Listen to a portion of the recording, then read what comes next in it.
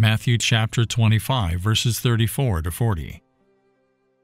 Then the king will say to those on his right, Come, you who are blessed by my Father, take your inheritance, the kingdom prepared for you since the creation of the world. For I was hungry, and you gave me something to eat. I was thirsty, and you gave me something to drink. I was a stranger, and you invited me in. I needed clothes, and you clothed me. I was sick, and you looked after me. I was in prison, and you came to visit me. The king will reply, Truly I tell you, whatever you did for one of the least of these brothers and sisters of mine, you did for me. The king delivers the reason for the split, as he says to those on his right, Come, you who are blessed by my Father, take your inheritance, the kingdom